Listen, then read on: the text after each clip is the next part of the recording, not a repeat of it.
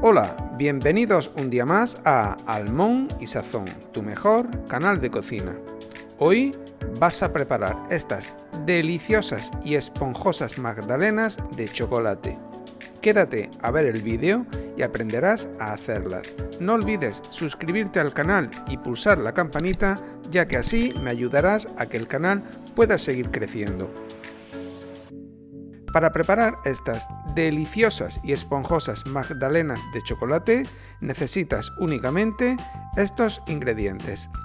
Dos huevos tamaño L, 130 gramos de azúcar, 80 gramos de aceite de girasol, 120 mililitros de leche, 120 gramos de harina de repostería, 50 gramos de cacao en polvo, 10 gramos de impulsor o levadura química y 100 gramos de pepitas de chocolate.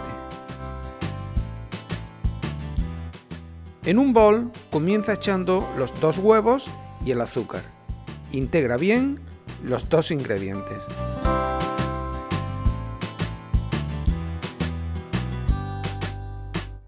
Añade el aceite de girasol, la leche y vuelves a mezclar muy bien todos los ingredientes.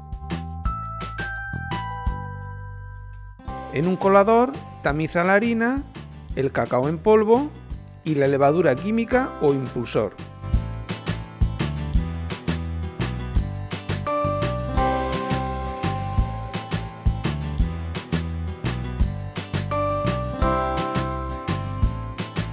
Mezcla muy bien todos los ingredientes.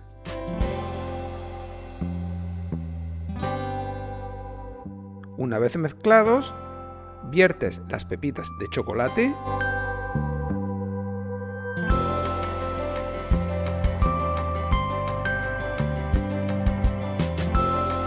y terminas la masa hasta que tenga una consistencia cremosa. Precalienta el horno a 200 grados centígrados, calor arriba y abajo.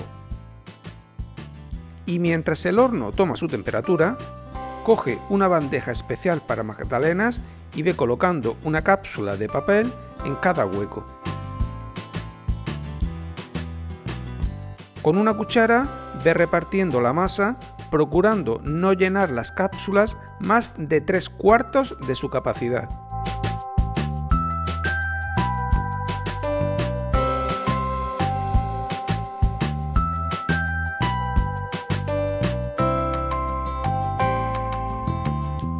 Cuando estén listas, las llevas al horno y las mantienes durante 15 o 17 minutos aproximadamente, a 200 grados, calor arriba y abajo.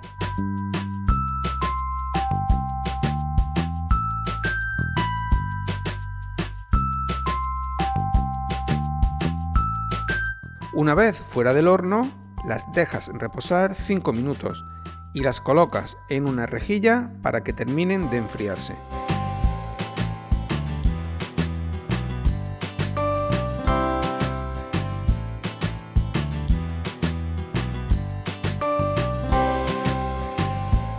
Y si es de tu gusto, espolvorea azúcar glass en las magdalenas.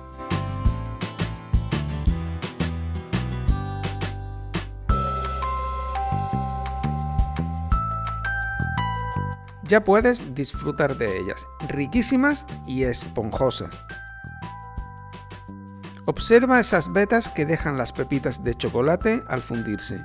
Una delicia. Te recomiendo que las hagas ya. Tanto a ti como a los niños os van a encantar, solas o mojadas en leche.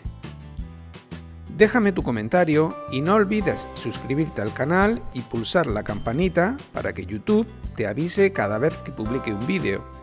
Tampoco olvides compartir en tus redes sociales y darme un me gusta. Como siempre, no dudes en echar un vistazo a los vídeos que te recomiendo. Nos vemos en el próximo vídeo.